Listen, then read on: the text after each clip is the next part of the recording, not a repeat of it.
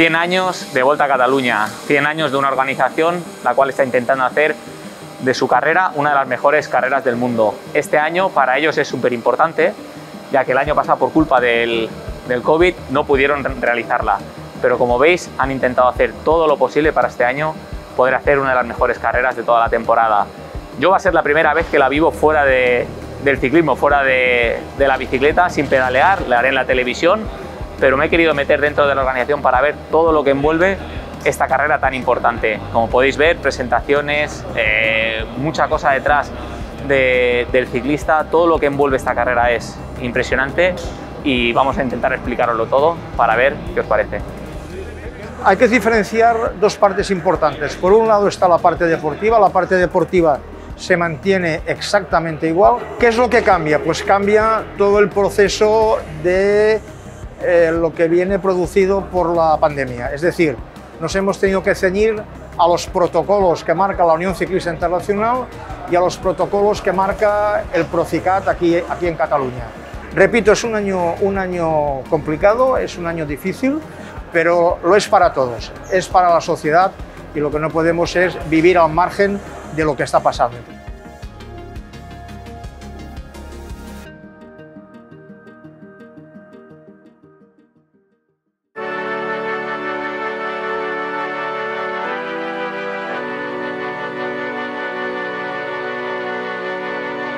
A una semana de empezar la Vuelta a Cataluña, pues eh, seguimos trabajando en la carrera y una de las cosas más importantes es el tema de televisión, el tema audiovisual. O sea, darle caña, sobre todo en los medios, para que la gente se esté en su casa y que este año, el centenario de la Vuelta, una Vuelta muy importante, pero sabemos que estamos todavía con todo el problema de la pandemia, tenemos que convencer a todo el mundo para que se quede en su casa y pueda verla en televisión. Así que hoy vamos a hacer una presentación de lo que va a ser el recorrido de la carrera, por dónde va a pasar todo el trayecto en la Vuelta a Cataluña y explicar un poquito cuáles van a ser las, las etapas claves.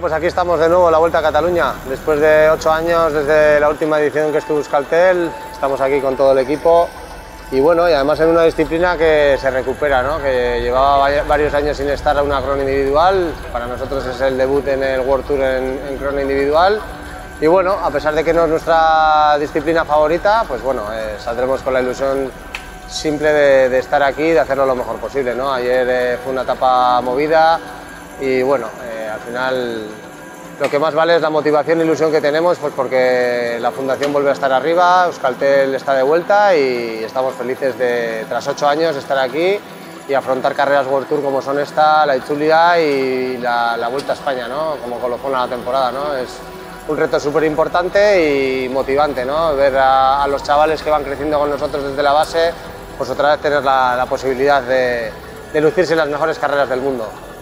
Soy Gocho Martín, eh, corredor del Euskaltel Euskadi y bueno, esta es mi primera vuelta a Cataluña, mi primera carrera World Tour, bueno, que venimos aquí con mucha ilusión y bueno, la hemos preparado bien, eh, siempre sabiendo del nivel que hay y, y, con los pies en el suelo, pero bueno, con ganas de hacer una buena carrera y, y dejarnos ver que es nuestra, nuestra esencia.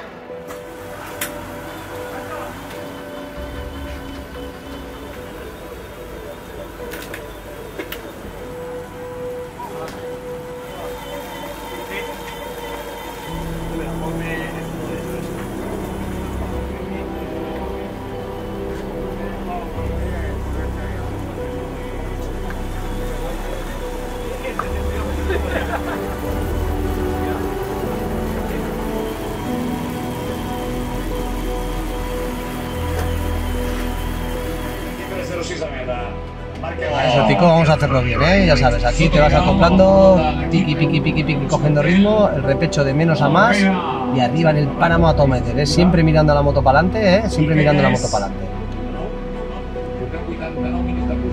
Venga, vamos ahí, ¿eh? Vamos ahí, poco a poco.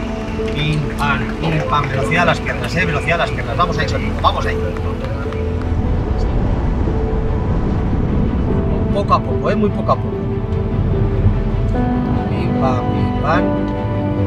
A medio kilómetro, eh. Medio kilómetro tiene esto.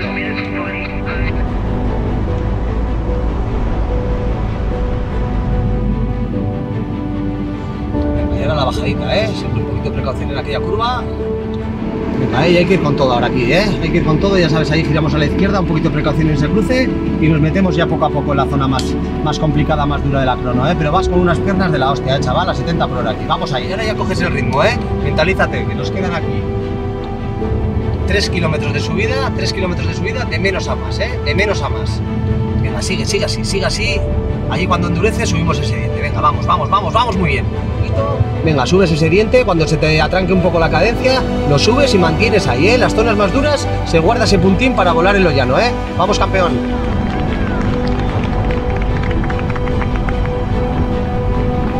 Sigue, hasta arriba del todo, sigue hasta arriba del todo, sigue hasta arriba del todo. Aquí nos entra el viento un poquito por la izquierda, ¿eh? Un poquito por la izquierda, así que te cubres ahí en la izquierda también. Por la izquierda, vamos ahí, ¿eh? Venga, vamos, vamos, vamos a mantener ahí. Uno, dos, uno, dos, concentración. Concentración en el esfuerzo ahí. Vamos, campeón. A 40 segundos del mejor tiempo en el intermedio vas, ¿eh? A 40 segundos, eso vamos a intentar que no nos decaiga el ritmo, ¿eh? Que estás llevando muy buen ritmo, ¿eh? Venga, vamos ahí. Venga, Soto, ¿eh? Que tienes unas piernas de la hostia hoy, ¿eh? Que estás haciendo una crono muy bonita. Vamos ahí.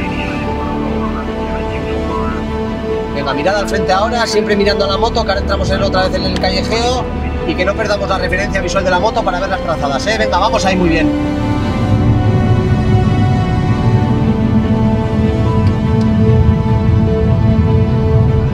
Con fuerza ahí, ¿eh? Muy bien, muy bien, eso no te pilla. Ya que estamos ya casi arriba, ¿eh? Tírala a la moto como hace. Venga, ¿eh? 1, 2, 1, 2, ¿eh? Hay que aguantar aquí, ¿eh? Que ahora vas a recuperar para arriba.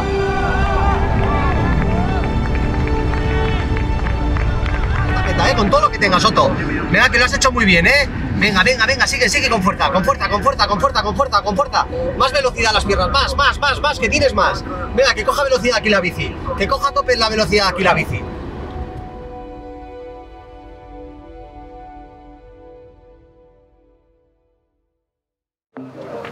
Estamos en una salida de la Volta Ciclista Cataluña. Esto es un, espacio vacío y aquí lo que hacemos es que de acuerdo con unas previsiones, unas reuniones que, han tenido, que hemos tenido antes, hemos previsto todo el diseño y cómo se diseña la salida. Pues se diseña de la siguiente manera. Hay tres partes.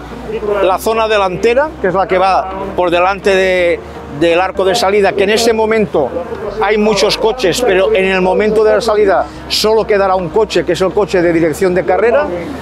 Luego hay una zona intermedia donde está el control de, corredores que vienen todos los equipos para que los árbitros comprueben qué equipo sale y qué, equipo qué corredor sale, qué corredor no sale. Y luego está la parte trasera donde están todos los autocares, los coches de equipo y todo esto está cerrado en una burbuja debido a la pandemia que estamos pasando.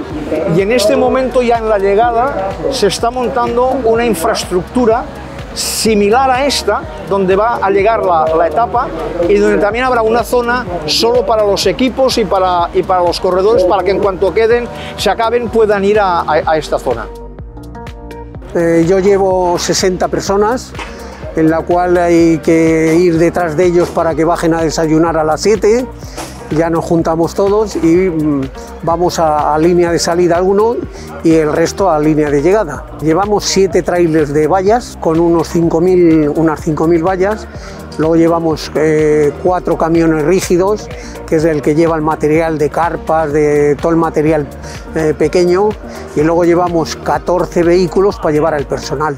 Una vez que termina, eh, que entra el último corredor, que se entregan los trofeos, premios y eso, eh, empezamos a desmontar, con lo cual tardamos unas dos horas, dos horas y media. Si empezamos a las 7 de la mañana, llegamos a las 9 o las 10 de la noche al hotel otra vez, ya finalizado.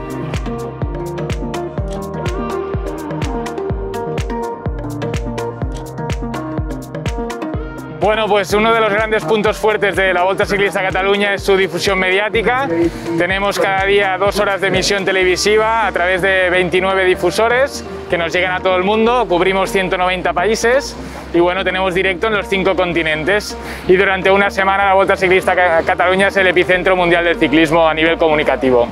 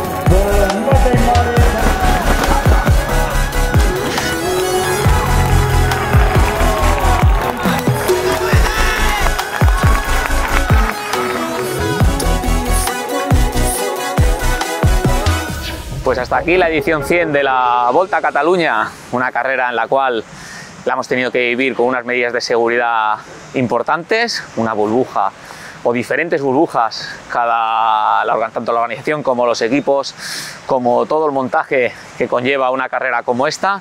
Y no sé si decir que aquí acaba la Volta a Cataluña número 100 o empieza la 101, porque como podéis ver, el montaje de una carrera tan importante como es la Volta a Cataluña envuelve mucha gente, mucho trabajo detrás, así que prefiero decir que aquí comienza la Volta 101 que no decir que ha acabado esta maravillosa Volta número 100.